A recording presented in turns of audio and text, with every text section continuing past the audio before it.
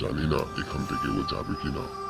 তবে ও তো দেখছি গাছে অনেকক্ষণ থেকে বসে রয়েছে। কি করছে? এই গাছে গিয়ে সবসময় থাকবে। তাহলে তো আমাদের ওই রাস্তা দিয়ে যাতায়াত করা অসুবিধা হবে। ছোট ছোট বাচ্চাগুলো এই পাশ দিয়ে স্কুল যায়।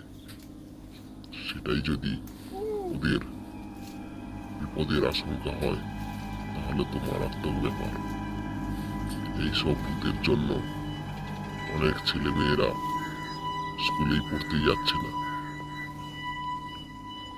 কোনোভাবেই এই ভুতুড়িকে এখানে থাকতে দেওয়া যাবে না।